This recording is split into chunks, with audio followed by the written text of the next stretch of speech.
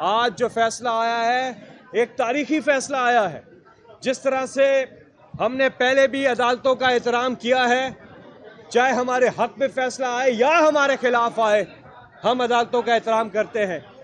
और आज जो अदालत ने फैसला किया है, पूरे कौम की तर्जुमानी की है। पूरी कौम की तर्जुमानी की है कि पाकिस्तानी कौम जो एक स्ट्रगल के अंदर है, आज एक साल हो गया ये कौम हकीकी आज़ादी की उस जदोजहद में है, जिस जज्बे के साथ, जिस जोश के साथ, इमरान खान के साथ पाकिस्तान बचाने की, पाकिस्तान के आइन को बचाने की तहरीक तो सब मुबारकबाद के मुस्तक है ये कौम। अल्लाह ताला का हम जितना शुक्र अदा करें, वो कम है। या रब्बुल आपका बहुत बहुत शुक्रिया। अब आगे क्या होगा? आगे होगा कि हमारी कैंपेन जो है, वो चल रही है। इमरान खान साहब रोज़ाना जो अफ्तारी है, वो अपने वर्कर्स के साथ कर रहे हैं। और पूरे रमज़ान में भी हमारी ये एक्टिविटी और रमज़ान के बाद फिर हमारे जलसे जो हैं, वो शुरू हो जाएँगे। और मई में जो इंतबात हैं, उनके हवाले से हमारी जो कैंपेन है, वो पूरी तरह से तैयार है।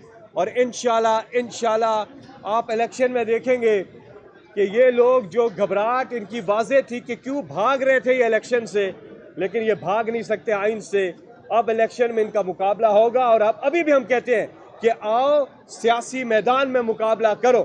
आओ, ये बुजदली मत दिखाओ।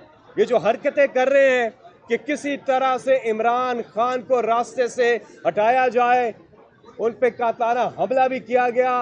उन्हें पॉलिटिकली भी नॉकआउट करने की कोशिश की गई। डेढ़ सौ मुकदमात इमरान खान पे बनाए और यही बहुत बड़ी दलील है कि अगर उनकी छोटी सी भी कोई करप्शन होती तो एक ही पर्चा काफ़ी था। डेढ़ सौ पर्चे ये दलील है कि इमरान खान ने कुछ भी नहीं किया। और आए दिन पर्चे होते हैं, हर सुबह नाश्ते में उन पर एक एफ़ आई आर उनके सामने आती है। ये हर इस्तेमाल कर भी ले। इमरान खान इंशाल्लाह सुरखरू होंगे, पाकिस्तानी कौम सुरखरू होगी, जमहूरियत सुरखरू होगी। और यहाँ पे मैं मीडिया को बहुत बहुत मुबारकबाद देता हूँ कि आप भी मीडिया और सोशल मीडिया के टाइगर्स और टाइगर्सेस और हमारे ओवरसीज पाकिस्तानी आप सब खराज तहसीन के मुस्तक है। ये स्ट्रगल में आपने वकला हमारी अदलिया को तो खराज तहसीन है ही है कि वो कॉन्स्टिट्यूशन ऑफ़ पाकिस्तान आइन पाकिस्तान के साथ ये एडवोकेट मीडिया के बोले।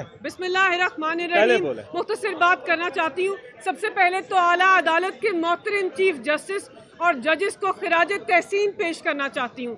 आला अदालत के चीफ जस्टिस ने धमकियों, तजहीक, तजलील और हर किस्म की ब्लैक मेलिंग दबाव के बावजूद आईने पाकिस्तान का भरपूर दिफा किया।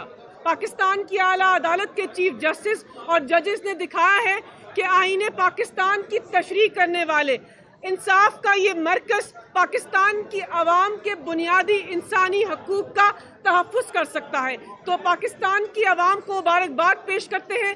सबसे पहले इमरान खान को मुबारकबाद पेश करते हैं कि एक लीडर के ऊपर केसेस बनाए गए।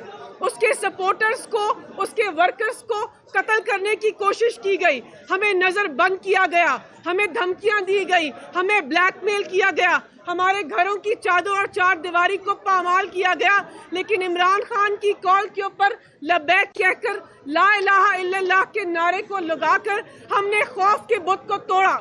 हमने कहा कि आईने पाकिस्तान के दिफा के लिए पाकिस्तान के जमहूरी निज़ाम को तकवीत देने के लिए और पाकिस्तान की हकीकी आज़ादी के लिए आपके सारे जबर को बर्दाश्त करेंगे। आज पाकिस्तान तहरीक इंसाफ के वर्कर, सपोर्टर और आम आदमी जीत गया और इमरान खान की जुरत दिलेरी और बहादुरी को सलाम पेश करना चाहते हैं कि कातिलाना हमला होने के बावजूद, इन सब मजालिम के बावजूद अपने जमहूरी निज़ाम के लिए तहरीक को आगे बढ़ा रहे हैं। बहुत शुक्रिया। सुप्रीम कोर्ट ने जो फैसला दिया है that's been limited only to Punjab. KP में इलेक्शन के हवाले से अभी तक डेट के मुताबिक कुछ नहीं कहा जी जी। नहीं उसकी भी उसकी भी तारीख यही आ जाएगी। उस पर पटिशन दायर हुई हुई हैं। पहले से भी दायर हुई हैं और सेपरेटली सुप्रीम कोर्ट इस मामले को देखेगी। और मेरा मशवरा ये है इस हकूमत को कि फिल फॉर सिंध असम्बली बलोचिस्तान असम्बली और कौमी असम्बली को तहलील कर दे। फिल फॉर तहलील करें और अगर आप चाहते हैं पूरे पाकिस्तान में इकट्ठा इलेक्शन हो तो आइन के मुताबिक, सुप्रीम कोर्ट के फैसले के मुताबिक इलेक्शन अपने टाइम पे हो रहा है, जो नवे दिन का टाइम था उसके अंदर हो रहा है। तो आप वो सहमियाँ तोड़ दें, आप पीछे आए, सारे मुल्क में इकट्ठी इलेक्शन हो जाएगा। अब आपको आगे का कोई और रास्ता नहीं है। ये हुकूमत बंद गली में फंस चुकी है। इसने अपनी हरकतों की वजह से, गैर आइनी इकदाम की वजह से अपने आप को बंद गली में फंसाया है। ये मजीद फंसेंगे। अगर ये सही फैसला नहीं करेंगे और सही फैसला ये है कि आप नेशनल असम्बली को अगले 24 घंटे के अंदर अंदर तहलील कर दें और आए पब्लिक में, अवाम में आए। पाकिस्तान की जो इस वक्त इकोनॉमी की सूरत हाल है, कोई और रास्ता नहीं है। ये अवाम वो रास्ता दे रही है, ये कौम वो रास्ता दे रही है, पाकिस्तान की अदलिया वो रास्ता दे रही है, आइन वो रास्ता दे रहा है कि आप फिल फॉर, साफ़ और शफाफ इलेक्शन की तरफ़ जाए। राज करेगी अब खल के खुदा इंशाला और इलेक्शन में जाने के अलावा कोई चारा नहीं है। आज इनके चेहरों पे आपने देखा कि किस तरह से इन्होंने पूरी कोशिश की अदलिया पे हमला करने की, लेकिन नाकाम हुए। जी, वलीद साहब। जी। आइन की पासदारी हुई है। और गुफ्तगु जारी है अभी या नहीं जारी? जारी है जारी हो।